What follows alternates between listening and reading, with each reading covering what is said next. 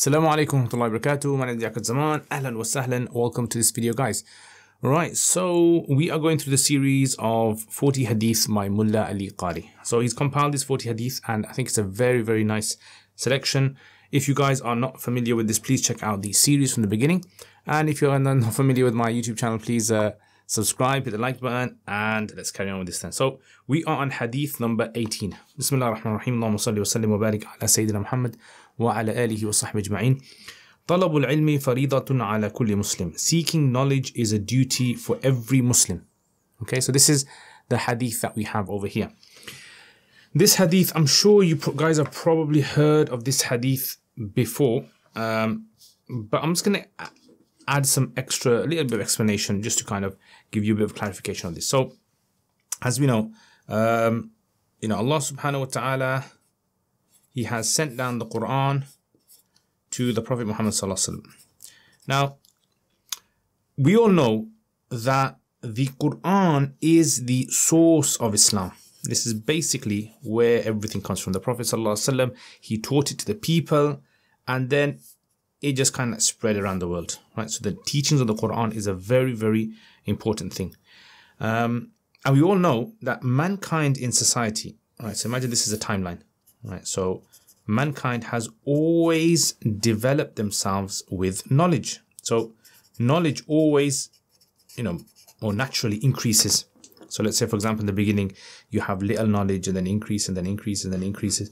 And then people start to, you know, develop like that. But the Quran's knowledge is actually all complete. When it was revealed, the Quran's knowledge was 100% complete when the Prophet ﷺ received the entire Quran. And this is why Allah in the Quran says, Today we have completed, Al-Yawma akmaltu lakum dinakum. Today we have completed for you your faith. So, when the Quran's knowledge, just like imagine anything in life, if you want to get into any field, you need, you must learn knowledge. So, the knowledge of today's times, you need to have this much knowledge today, whereas, like a doctor, for example, um, and if you were living over here somewhere, you would only need this much knowledge, right, to be a doctor. So the knowledge is increased, but Islamic knowledge actually starts off a lot. It starts off a lot. And then as time goes by, as the society develops, the knowledge of the Quran has branches out and it gets more detailed. Um, so a Muslim, so let's say for example, this is a Muslim. A Muslim man and a Muslim woman, they both require to know all the rulings that pertain to them Islamically in any aspect of their life. So let's say, for example, like there is a father. So this guy's a father. And let's say, for example, there's a mother. The mother must know all the rulings related to her. The father must know all the rulings related to him. There's going to be you know, a lot of overlap, but there's going to be a lot of things which they need to know about like how to bring up children, how to earn halal, and so forth. Same goes, for example, a doctor. Let's say, for example, there is a doctor. This doctor will have to know all the rulings that are pertaining to medicine that Islamically that he needs to know, right? Let's say, for example, there is a uh, a mechanic. Yeah, so this mechanic must know if I'm a mechanic and I'm fixing people's cars, how much can I charge them? Can I hide some costs? Can I have grease on my hands when I pray my salat and do my wudu? Right? They need to know these rules, right? So all of this is something which Allah encourages in the Quran. Learn about knowledge. Allah says, the ones who know and the ones who don't know can never be equal. Meaning, knowledge is something that empowers you. It makes you worship Allah. It makes you uh, be able to worship Allah in any aspect of your life, wherever you are. And as we know, the past nations, or even other faiths, if you think about them, it's like knowledge is only with a certain ind- individuals. Mass, the mass you know, a vast majority of people do not have the knowledge. That's unfortunate thing, guys. So, as a Muslim, we must have knowledge. Yeah. So this is why the Prophet ﷺ says, "Talabul ilmi faridat." It's an obligation to know, like to make it simple, how to run your 24-hour life. So 24 hours of your life, you need to know the Islamic injunctions regarding it, and these Islamic rulings are going to help you to worship Allah easy as well. Right? So remember, don't get this. Don't don't think to yourself you have to learn all of Islam. No, you don't. So imagine, for example, like everything in Islam, everything in Islam is like a piece of cake. I would say possibly no. There's like a small chunk that you need to learn. Every Muslim needs to learn. Right? This is obligatory. Yeah, so this is the obligation. It's obligation, and the rest of it is recommended to learn. So there's lots of things that people, for example, when they study an alim course, it's recommended, uh, uh, you know, to learn those kind of things, right? But for understanding how to live your life as a Muslim, each individual's duty it is to actually study that much knowledge. And today, for example, like, you know, there's going to be someone who's just going to follow what their family does. A lot of cultural Islam, right? So kids are going to grow up, they're just going to follow what their parents will be doing. And, and they come to a situation where they get stuck, right? They have to contact a scholar. Yeah. So this is why, how do, how do these people learn knowledge? So there's two ways that you can learn the knowledge.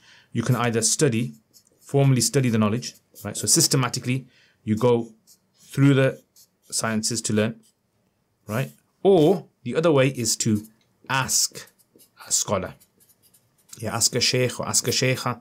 Uh, you ask them a scholar, you ask them a question, rather you ask them a scholar. You ask them a question, and then that will clarify for you how you're supposed to be doing that thing. And a lot of people will ask me questions. A lot of people, you know, will ask imams and, and sheikhs questions about things. So this is all part of this hadith. Talabul ilmi, seeking knowledge, is an obligation upon every single Muslim, right? And in fact, this is so important that the scholars actually say, it's like a really important point I think I should mention over here, which is a scholar is not permitted to conceal important knowledge. Yeah.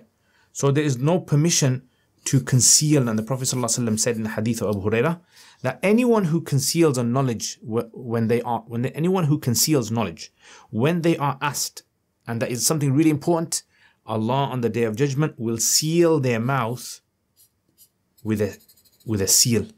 Yeah. Allah is going to seal their mouth, put a seal on their mouth because they refuse to tell the, teach the people the knowledge. And if you got knowledge and you have to tell someone something really important, Yes, sometimes a scholar might not tell you something because it's too complex, right? You're not really kind of needed to know that kind of topic, like usul fiqh discussions and advanced usul hadith discussions or something like that. But things that people must know is important. And what kind of things in today's times, fine, to finish off on this, what kind of things do people need to know? So I'm just going to make a little list of this. For example, like a Muslim needs to know belief. Okay, aqidah. This is very, very important. Every Muslim needs to know the fundamental aspects of Aqidah. Like we worship Allah, we don't associate anyone with Him. Uh, Allah is uh, the one that is free of any defects and so forth. And Allah sent messengers. And we believe that the laws of Allah are the best laws out there. Number two is we also need to understand how uh, to pray our salah.